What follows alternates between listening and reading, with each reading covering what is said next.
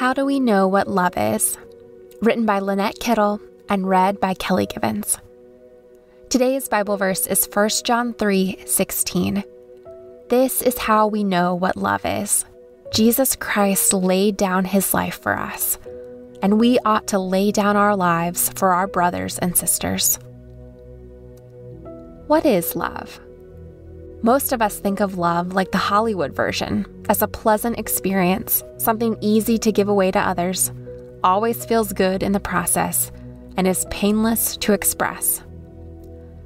Sadly, our human version of love is often offered to others by how it makes us feel, rather than for the benefit of the ones we say we love.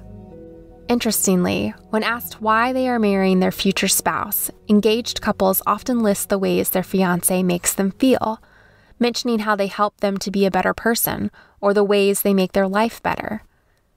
It's a very rare couple, the ones who are looking out for the interests of their future bride or groom more than themselves, wanting to marry the other person because they want to make their future spouse's life better.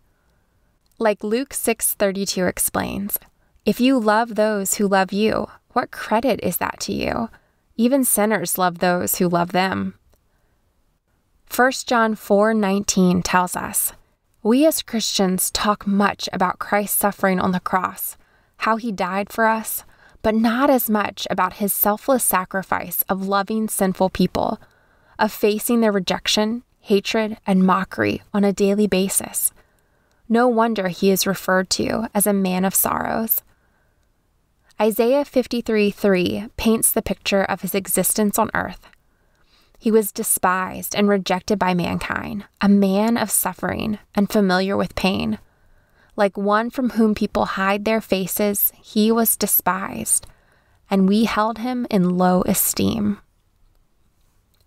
Jesus took the penalty of sin, which is death, suffering public humiliation, unbelievable sorrow, excruciating pain, and separation from the Father through an agonizing death. As Isaiah 53 tells us, surely he took up our pain and bore our suffering, yet we considered him punished by God, stricken by him, and afflicted.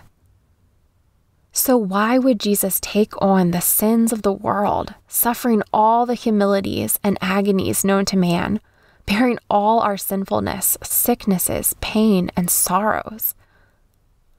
Unlike the world's selfish idea of what true love is, real love selflessly sacrifices for others.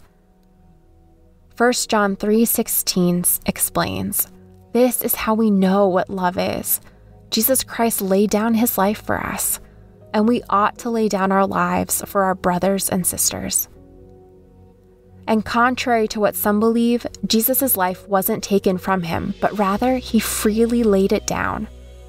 In John 10:18 he says, "No one takes it from me, but I lay it down of my own accord. I have authority to lay it down and the authority to take it up again. This command I receive from my Father.